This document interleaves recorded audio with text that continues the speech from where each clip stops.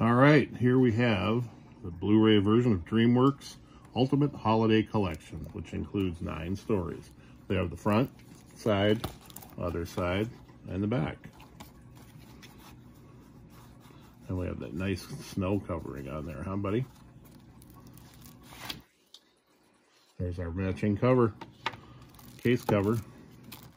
Let's say, what do you say we open it up? Good idea. Okay, here we go see what's on the inside.